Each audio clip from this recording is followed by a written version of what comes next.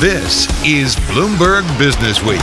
Insight from the reporters and editors who bring you America's most trusted business magazine, plus global business, finance, and tech news. The Bloomberg Business Week podcast with Carol Massar and Tim Stenovec from Bloomberg Radio. Tim, one of the things, the consequences of the pandemic that's maybe one of the more positive bits that's come out of the past couple of years is that women in the United States have made historic gains in terms of labor force participation in recent months. The participation rate for women aged 25 to 54 in particular hit 77.8% in June. That is an all-time record wow. since that data was uh, started to be collected back in the 1940s. But now all of that might be at risk because $24 billion in pandemic era government aid for daycare providers um, is set to run out at the end of September. That's bad news really bad news. I mean, it's such an important part of uh, keeping women in the workforce. And so, for that, I want to bring in Reade Pickert. Um, she wrote this great story we have out uh, on Bloomberg.com in the Bloomberg Terminal right now. She's the U.S. economy reporter, and she joins us uh, from our Washington, D.C. bureau. Uh, Reade, first, tell me why are daycares so on the edge and so dependent on this $24 billion worth of funding that's set to run out at the end of September? So, if first of all, thank you for having me on. But if we rewind the clocks back to the start of the pandemic, so when we saw daycares close, schools close, and suddenly parents, both mothers and fathers, were scrambling to try to figure out what to do with their kids, we saw this huge decline in workforce participation among women ages 25 to 54. Um, and what you saw as we moved on into 2021, we saw the American Rescue Plan really step in with this billion, you know, $24 billion set of you know, money for these childcare providers to help them keep their doors open.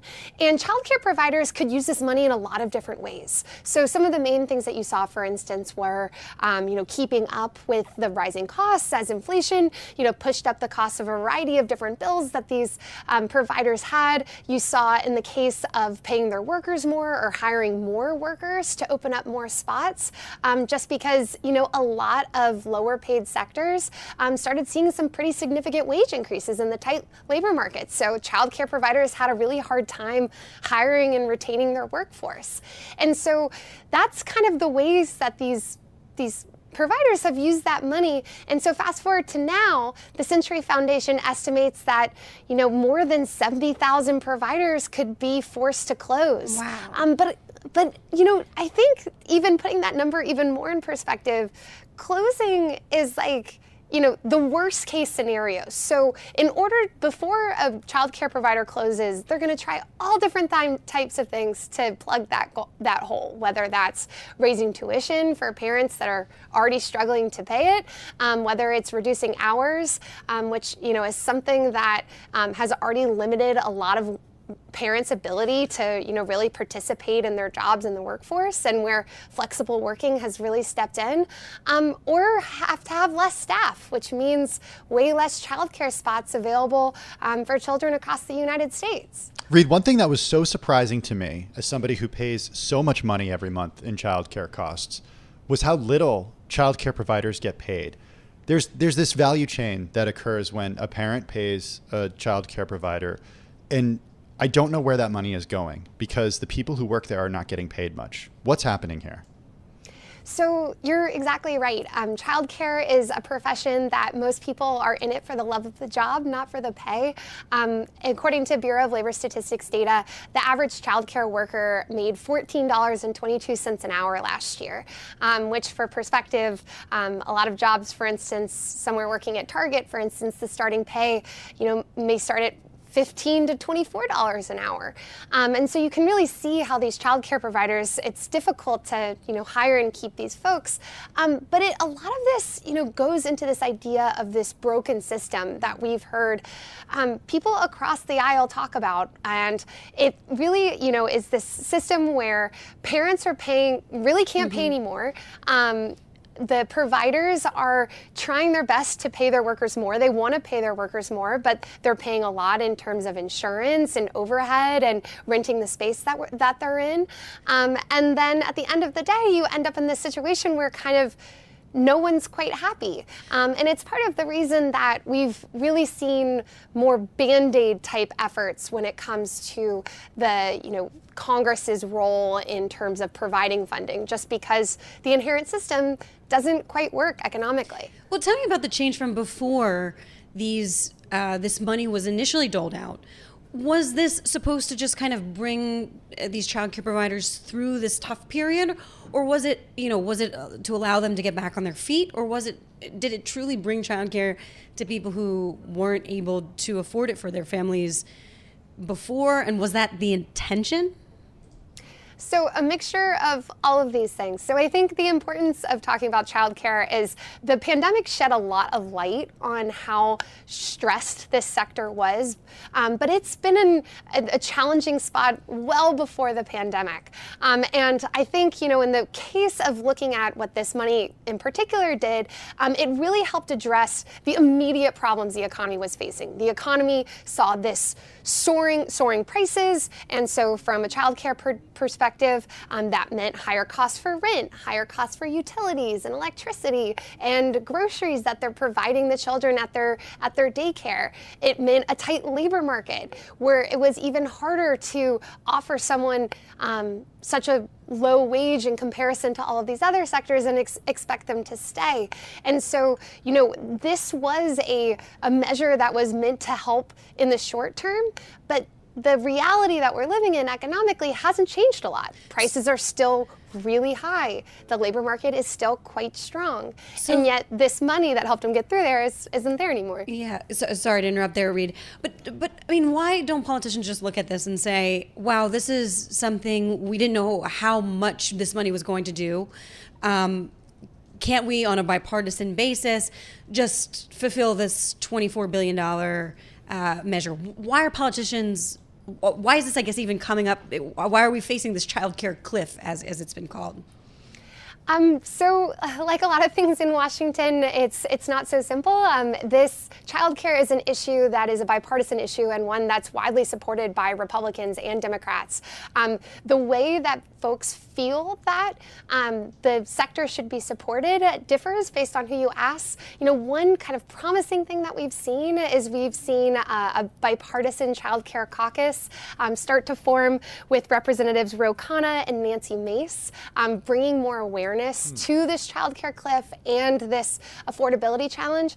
Um, but you've also seen in terms of the appropriations bills that um, are now kind of getting caught up in the, the broader government shutdown mess. Um, there is an increase in funding for what's known as the Child Care and Development Block Grants, which is a program that's been in place for a while. Um, but the increase is, you know, nowhere close to the $24 billion that we saw in the American Rescue Plan, but certainly will help to some extent, but, but is no way offsetting that. So, Reade, just in the last minute that we have with you, based on your reporting, and I know it's not your job to make predictions, but I'm a parent who pays for childcare right now. Give me a prediction of what you think happens at the end of the month. So at the end of the month, um, nothing's going to immediately happen. This is a slow burning challenge that over the next six, 12 months is when we start to see these centers start to close. Um, but for parents, it means, you know, particularly mothers, it means things such as cutting hours, mm. switching to jobs that are less, um, less difficult, less productive, less time consuming, and therefore often pay less, or dropping out of the workforce entirely, which would be really sad at a moment where women have really been leading this recovery. I encourage everybody to check out this story. Threat of 70,000 daycare closures imperils U.S. workforce gains. Serious economic implications when we cannot take care of children in this country. Uh, the story by Reade Pickert and Kelsey Butler. Check it out on the Bloomberg terminal, of course, also at Bloomberg.com. You're listening to the Bloomberg Business Week podcast. Catch us live weekday afternoons from 3 to 6 Eastern. Listen on Bloomberg.com, the iHeartRadio app, and the Bloomberg Business app. Or watch us live on YouTube. Now, I've just recently returned uh, from the Persian Gulf where I was a correspondent there for about three and a half years. And frankly, since the start of the pandemic, there is no part of the world probably that's flexed its financial muscle uh, like the Gulf. You know, bankers have been chasing sovereign wealth cash in Dubai. You know, you have a wave of Russians pouring in with their own assets, hedge funds, crypto firms. Um, but at the same time, you know, you look farther out across the Middle East and into Africa, and the pandemic and the war in Ukraine have created sort of these devastating sustainability challenges for much, frankly, larger populations. Um, and that's why I'm so excited to have Nora Sweid uh, with us. She's founder and managing partner at Global Ventures. Uh, and she makes investments in the Middle East and Africa. She's normally based in Dubai, but Nora's joining us now um, from London. Uh, so, Nora, talk to me a little bit about some of the top investment themes for global ventures right now. So, first of all, thank you so much for having me and, um, and taking the time.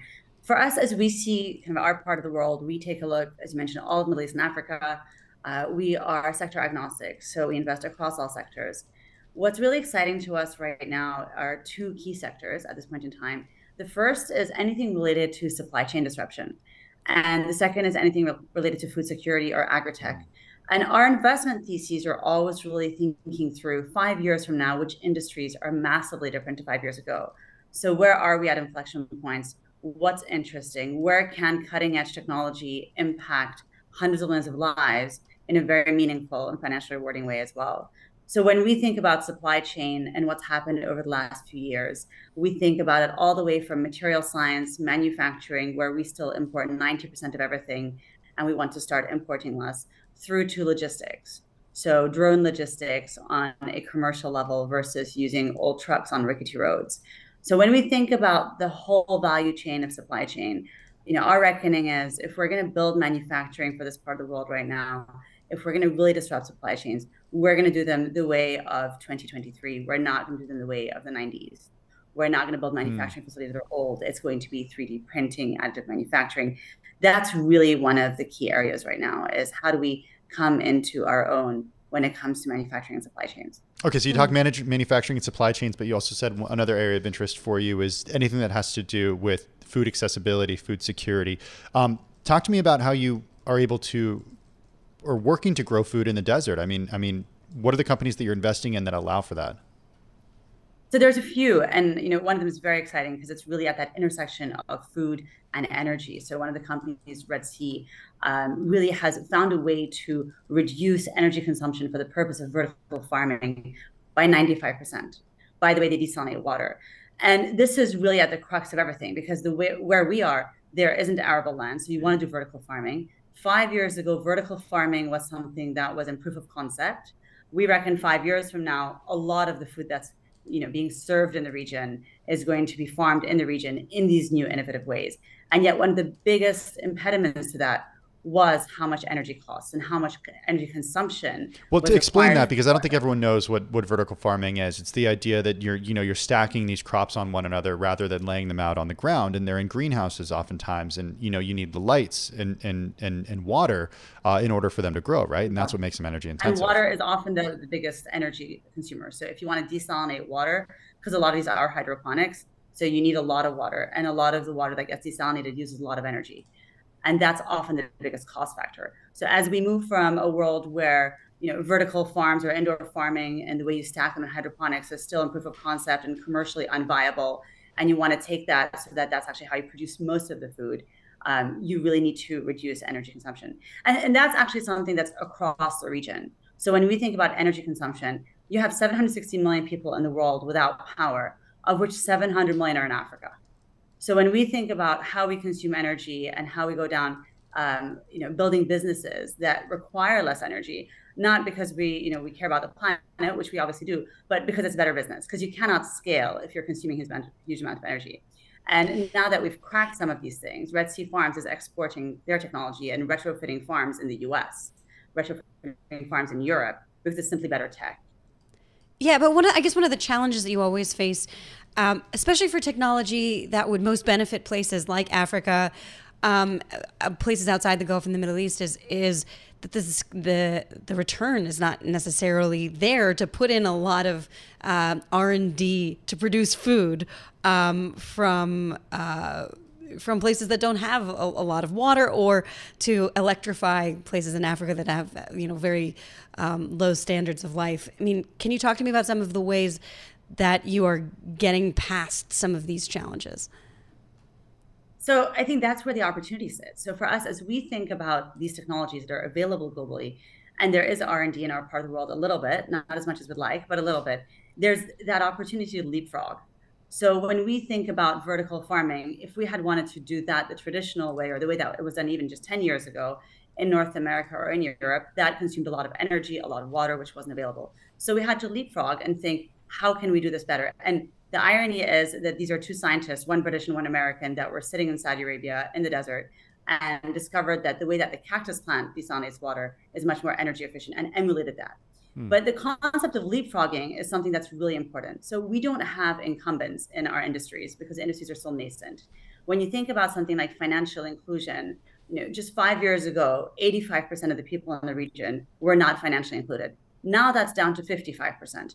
And we didn't get there by building banks. We got there with cutting edge fintech. When we think about healthcare, we have one doctor per thousand people in MENA compared to four per thousand in North America or Europe, and 0.2 per thousand in sub Saharan Africa. We're never going to have enough hospitals. We're never going to have enough doctors. The question becomes how to use technology to give healthcare access. And therefore, you have the adoption of tech in a much faster way especially given 60% of the population is under the age of 30. Hmm. Mm. So your digital adoption is instant, immediate. There are no incumbents or lobbies from the healthcare industry or the finance industry trying to stop these tech companies. And the regulators actually want these solutions. Right. So you end up in a world. Sorry, go ahead. Well, no, I just we only have a couple minutes left, and I want to make sure we get to the fundraising aspect of this um, because you know we talk a lot about uh, venture capital funding drying up over the last couple of years. And I'm wondering, from your perspective, uh, as the uh, founder and managing partner at Global Ventures, how much of your time is, is spent fundraising, uh, and how hard has it been to raise money for funds? So we are on our third fund now, which we've um, managed to successfully raise most of this year. So we're very fortunate. I think our part of the world is still a great opportunity. Companies, because of the lack of the quantum of capital. So last year was our peak year in terms of venture funding at $3 billion for all of the MENA region, which is still a drop in the bucket of global venture. Um, so anything about $3 billion is all deals all year um, across all the MENA countries. So it's a nascent ecosystem. It's fast growing. It's a very young population, and it's an emerging and growing economy. So most of our investors are actually international investors, and institutions in the U.S. and in Europe that want access to growth markets. And by coming in and looking at venture in the region, they find companies that are much more capital efficient because of the lack of capital in the ecosystem. We, a quarter of our portfolio is EBITDA positive, which for a Series A investor is highly unlikely in most other markets. And you're using technology to solve real world problems. Hmm. So yeah. really, the combination of that has enabled growth rather than shrinkage so far.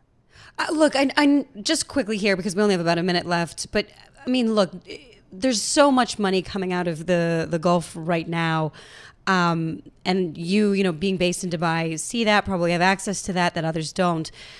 I mean, what uh, priorities do you have uh, in funding projects or what priorities those investors have in funding projects that other investors uh, you know elsewhere sitting in the united states or elsewhere don't?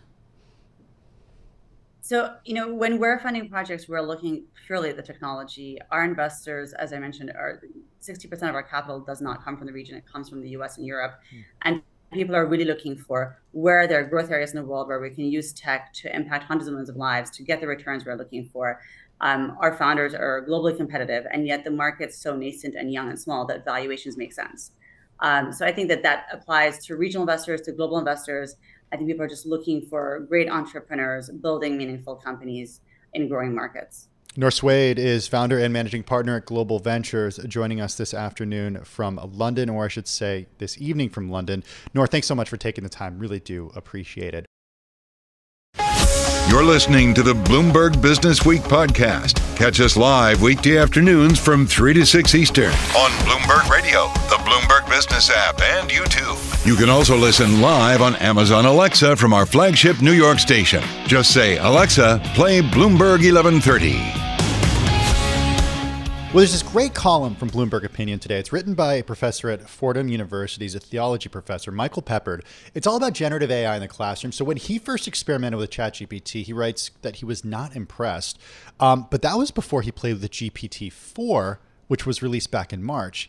And he actually found the newest version of OpenAI's multimodal LLM, large language model, can now produce papers that are better than the average students. So that's just between different versions of ChatGPT. So it raises a lot of questions about the role that generative AI should play in the classroom. How should teachers use it? How should students use it? How worried should parents be that our kids are not going to learn how to do anything because of ChatGPT? Mm-hmm. Hopefully, Chris Callison Burch has the answers. He spent years studying generative AI. He's associate professor of computer information science at the University of Pennsylvania School of Engineering and Applied Science. He's a Sloan Research Fellow and he's gotten uh, faculty research awards from companies we talk about every day Google, Microsoft, Amazon, Facebook, Roblox, and more. Uh, and gotten funding from DARPA, the NSF, and more as well. He joins us on Zoom from Philadelphia. Professor, how are you? Great. Thanks for having me. Well, thanks so much for, for joining us. So, a lot of parents are sending their kids back to school this week here in New York and other areas of the country. Schools started already. I know that one thing they're thinking about is how is my kid going to be using ChatGPT or generative AI in the classroom versus how should he or she be using it? What are your thoughts? Absolutely. So I was listening to a podcast this summer that speculated that there was a downturn in the use of GPT uh, as a result of its being summer break. And the reason for that is basically ChatGPT is a homework machine.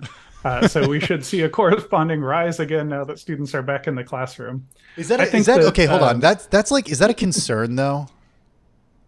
Uh, the, for the for OpenAI or for us educators? for educators, not for OpenAI. Uh, certainly, certainly. So when uh, uh, ChatGPT was released last November, it had this breakthrough moment where everyone suddenly became aware of it and uh, at Penn, we had this giant meeting of all the faculty where it was on everyone's radar as a potential concern.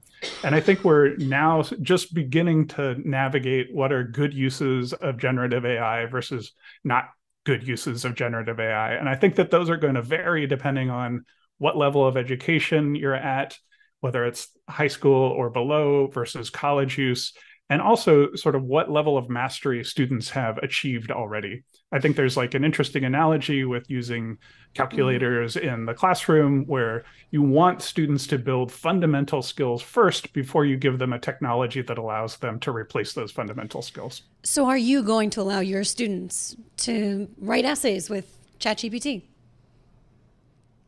I am in a computer science department, so we have fewer essays, but we have okay, a, okay, an well, analogous problem with okay. writing code.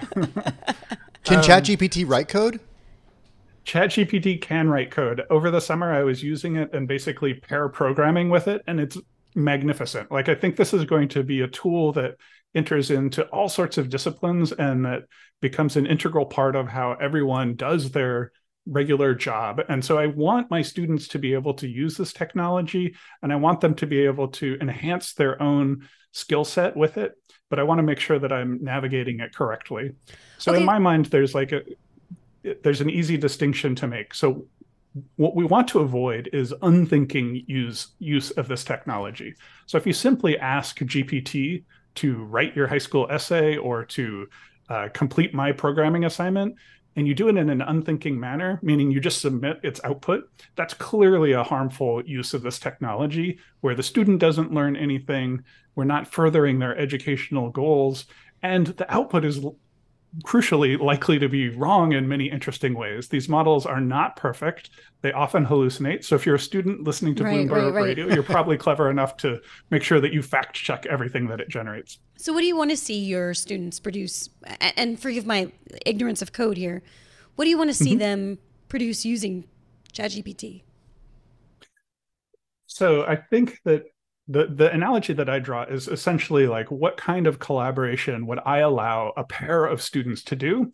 And so that kind of collaboration should be allowable between a student and the generative AI system. I wouldn't allow a student to copy directly the code from their friends uh, without understanding it and without uh, like thinking through and learning anything about how to do it. I allow students to discuss the problems and get, gain a better understanding, but not to directly copy anything. Hmm. And I think the same could hold for generative AI. So you should be allowed to understand a problem and uh, I, I think that generative AI is really magnificent as a personalized tutor. So you could use it to explore a topic, uh, provide examples of something that you're learning in class. Well, and okay. maybe you could use it so for let's, tasks that you've already mastered. So we only have a couple minutes left, and I'm a concern. I'm certainly a concerned parent. My my kids aren't old enough to be doing homework at this point, but I know that if I were in school, uh, you know, this is something that we'd all be looking for for help with when it comes to homework. So to remove yourself from the college professor and, and put yourself in the position of you know a, an eighth grade teacher or something. How how do how do kids uh, use this technology in a way that's actually productive and not just a crutch? Right. So uh, students shouldn't use this to complete their homework assignments for them. They shouldn't use it when it's expressly forbidden. But if you're an educator, I think there's lots of really amazing ways that you can integrate this into your classroom. There's lots of really great uses of generative AI for creative creative creative applications. You can use it to generate images to help illustrate things and really empower students to realize their creative visions in very exciting ways. My uh, nine year old and I are designing a movie together, generating images using Midjourney, creating voices using uh, 11 labs, and all sorts of things where we have this really spectacular creative project together. And I think that those could be transferred into the classroom as well. That's pretty cool. Talk for explain just in 30 seconds what Midjourney is and how you do something like that. It's like the Chat GPT for images, right? That's right. So Midjourney is a generative AI that lets you input a prompt. So you could say a uh, woodcut print of a cat playing a banjo and it'll render that for you and it's really amazing so i totally recommend that parents try it out with their kids it's great for imagination games very cool stuff. Hey, Chris, thank you so much for, for joining us. Really appreciate you taking the time this afternoon. Chris Callison Burch uh, is an associate professor of computer information and information science, I should say, at the University of Pennsylvania's School of Engineering and Applied Science. He joins us this afternoon on Zoom. You're Make, listen- yeah, oh, making ahead, your Simone. challenges so much, uh, making your challenges as a parent so much more it difficult. Does. I know.